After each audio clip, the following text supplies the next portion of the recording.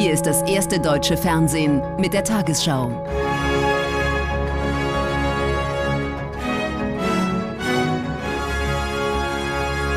Heute im Studio Susanne Daubner. Guten Abend, meine Damen und Herren, ich begrüße Sie zur Tagesschau. In Deutschland wächst die Sorge vor einer weiteren Verschärfung der Corona-Lage. Angesichts steigender Infektionszahlen forderte Bundeskanzlerin Merkel, die vereinbarten Zugangsregeln in Innenräumen für geimpfte, genesene und getestete stärker zu kontrollieren. Weitere Einschränkungen für Nichtgeimpfte seien möglich, teilte Regierungssprecher Seibert mit. Gesundheitsminister Spahn und der Präsident des Robert Koch Instituts Wieler bekräftigten unterdessen ihren Appell, sich impfen zu lassen. Es soll der letzte Corona-Winter werden, doch dafür müsse mehr getan werden, so die mahnenden Worte vom Präsidenten des Robert Koch-Instituts.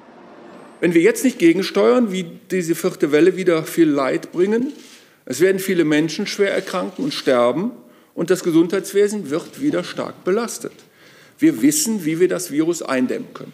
Wir haben alle Werkzeuge in der Hand, eine wichtige Rolle spielen die Auffrischungsimpfungen, die den Schutz vor Erkrankungen vor allem für die Alten, Menschen mit Vorerkrankungen und Beschäftigte im Gesundheitssektor verbessern sollen. Von 30 Millionen potenziell Betroffenen seien erst zwei Millionen erneut geimpft worden. Das sei zu wenig, so der Gesundheitsminister. Deshalb möchte ich auch gerne, dass die Länder ihre öffentlichen Impfangebote wieder auf und ausbauen. Das müssen nicht die zentralen großen Impfzentren sein. Es können auch natürlich dezentralere, kleinere Anlaufstellen sein. Wichtig ist aber dieses öffentliche Angebot. Unterstützung gibt es vom SPD-Gesundheitsexperten Lauterbach. Jetzt kommt es wirklich auf also das Tempo an. Wir müssen also die 70-Jährigen impfen. Wenn wir dies alleine äh, mit den also niedergelassenen Ärzten machen, dann brauchen wir dafür viele Wochen, möglicherweise sechs Wochen. Dann haben wir noch nicht die Gruppe darunter geimpft. Zur Abstimmung der Maßnahmen plädieren neben Spahn vor allem unionsgeführte Länder für einen Corona-Gipfel möglichst bald. So auch der bayerische Ministerpräsident nach einer Sonderkabinettssitzung. Mein dringender Appell jetzt einfach nochmal, nachdem die Lage hochgeht und die wird auch andere Bundesländer immer mehr erfassen, dass es richtig wäre, das nicht auf die Länder abzuschieben, sondern zwischen Bund und Ländern ein ähnlich gutes Miteinander zu finden, wie es in den Jahren von Angela Merkel der Fall war. Vor allem in SPD-geführten Ländern wie Berlin gibt es Vorbehalte gegen einen solchen Gipfel. Es fiel ein Konzept vom Bund für ein einheitliches Vorgehen. Wen sprechen wir wann an? Wie wird es finanziert? Das muss auch von der Bundesebene mit vorgegeben werden und darauf warten jetzt viele händeringend. Ersten Aufschluss soll die morgen beginnende Gesundheitsministerkonferenz von Bund und Ländern bringen. Auch darüber, wie eine Kampagne für mehr und schnellere Auffrischungsimpfungen organisiert werden kann. Die US-Gesundheitsbehörde hat dem BioNTech-Pfizer-Impfstoff für 5- bis 11-Jährige die endgültige Freigabe erteilt. US-Präsident Biden sprach von einem Wendepunkt. Mit dem Vakzin könnten nun 28 Millionen Kinder geimpft werden. Auch in Europa haben BioNTech und Pfizer eine Zulassung ihres Corona-Impfstoffes für Kinder beantragt. Eine Entscheidung der Europäischen Arzneimittelagentur wird vor Weihnachten erwartet. Bundeswirtschaftsminister Altmaier hat dem Kabinett heute einen Plan mit konkreten Projekten für den Strukturwandel in den Kohleregionen vorgelegt. Spätestens 2038 soll das letzte deutsche Kohlekraftwerk vom Netz gehen. Den betroffenen Regionen hat die Bundesregierung umfassende Finanzhilfen versprochen. Die ersten Maßnahmen sind bereits umgesetzt. Es geht nun schneller von der Kleinstadt Hohenmölsen im Braunkohlegebiet in Sachsen-Anhalt in die Großstadt Leipzig, dank dieser neuen Straße, bezahlt aus Mitteln für den Kohleausstieg. Das ist die Zukunft. Wir brauchen solche leistungsfähigen Straßenverkehrsverbindungen direkt hier im Revier, damit die Wirtschaftskraft in das Revier hineinkommt. Denn die Kohleregionen müssen attraktiver werden, neue Arbeitsplätze müssen her. Der Bund unterstützt den sogenannten Strukturwandel in den Gebieten in Nordrhein-Westfalen, Sachsen-Anhalt, Brandenburg und Sachsen mit mehr als 40 Milliarden Euro. Zwischenbilanz des Bundeswirtschaftsministers. Wir sind äh, schneller vorangekommen, als wir gehofft hatten. Es arbeiten alle mit Hochdruck. Wir haben Projekte in der Größenordnung von 20 Milliarden äh, Euro bereits genehmigt. Die Große Koalition hatte sich auf einen Kohleausstieg bis spätestens 2038 geeinigt. Die Ampelkoalitionäre diskutieren nun ein Ende acht Jahre früher. Nordrhein-Westfalens neuer Ministerpräsident ist vorbereitet. Für mich ist klar, wir sind in Nordrhein-Westfalen zu einem Ausstieg aus der Kohle auch schon 2030 bereit und wollen alles dafür tun, dass uns das gelingt. Wüsts Parteikollege Haseloff, Landeschef in Sachsen-Anhalt, hört das nicht gern. Er pocht auf das Enddatum 2038. Wir brauchen die Zeit, damit das alles funktioniert und wirklich parallel beim Wegfall von Arbeitsplätzen neue entstehen können. Das haben wir den Menschen versprochen. SPD, Grüne und FDP aber streben laut Sondierungspapier einen Kohleausstieg bis idealerweise 2030 an. Anders werde Deutschland seine Klimaziele nicht erreichen. Was dieser frühere Ausstieg kosten würde, ist nicht absehbar. Die betroffenen Bundesländer und die Industrie dürften aber auf weitere Finanzhilfen pochen. Die SPD will voraussichtlich am kommenden Montag eine Vorentscheidung über den Parteivorsitz fällen.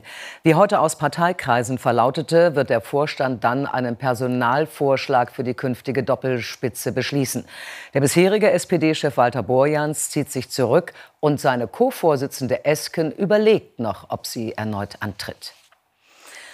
Die Finanzierung von Maßnahmen, mit denen die Erderwärmung begrenzt werden soll, stand heute im Mittelpunkt der UN-Klimakonferenz in Glasgow.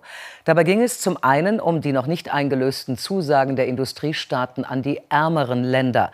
Außerdem spielten nachhaltige Finanzprodukte und klimafreundliche Investitionen eine Rolle bei den Gesprächen.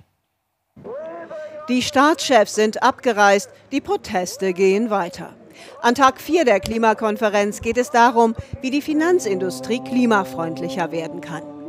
Sie hier befürchten, dass die Banken einfach nur Etikettenschwindel betreiben, sogenanntes Greenwashing. Ein paar hundert Meter Luftlinie weiter verkünden 450 Banken und Fonds ab sofort 130 Billionen Dollar zu mobilisieren, um die Welt bis 2050 klimaneutral zu machen. Das hier ist ein echter Wendepunkt, der Wirkung zeigen wird. Die Reaktionen darauf unter Experten und Delegierten gemischt. Viele Unternehmen, viele Banken, viele Finanzinstitutionen behaupten heute, grün und nachhaltig zu sein und zu investieren, tun das aber in der Wirklichkeit nicht. Da muss noch viel in der Umsetzung äh, passieren. Aber ich glaube, man darf auch die Wirkung eines solchen Gipfels nicht unterschätzen.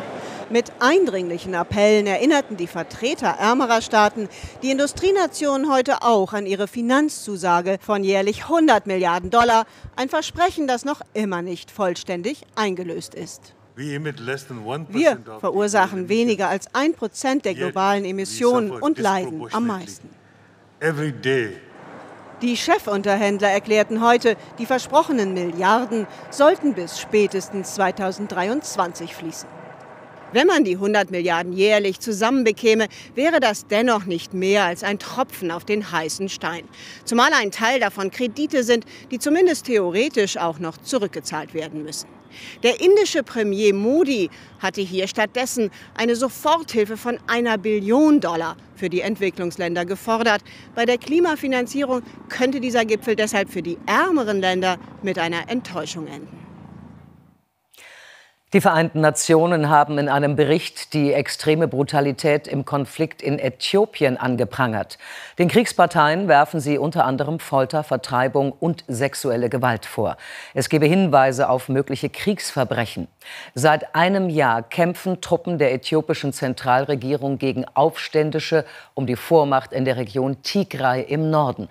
Auch Militär aus Eritrea ist beteiligt. Seit Ausbruch des Krieges flohen mehr als zwei Millionen Menschen. Menschen vor der Gewalt. Gedenken für die ersten Opfer des Krieges. Es waren Soldaten der äthiopischen Armee, überfallen in ihren Unterkünften. Damit habe der Krieg vor einem Jahr begonnen, so die Botschaft der Staatsführung. Der Gegner, die Volksbefreiungsfront von Tigray TPLF im Norden des Landes. Sie ist in der Offensive. Äthiopiens Ministerpräsident Abiy Ahmed gab sich heute weiter kompromisslos. Wir werden unseren Feind in einer sehr tiefen Grube begraben. Es wird nicht der Ort sein, an dem Äthiopien zerfällt. Mit unserem Blut und unseren Knochen begraben wir den Feind zur Ehre Äthiopiens. November 2020. Der Machtkampf zwischen der alten Regierung, in der Tigrayer großen Einfluss hatten, und Premierminister Abiy Ahmed führt zum Krieg. Tigray wird von Abis Truppen besetzt, unterstützt vom Nachbarland Eritrea. Vergewaltigung und Hunger scheinen vielerorts Mittel der Kriegsführung zu werden, immer mehr Massengräber entstehen. Ein gemeinsamer Bericht der Menschenrechtsexperten der UN und Äthiopiens spricht nun von extremer Brutalität bis hin zu möglichen Kriegsverbrechen.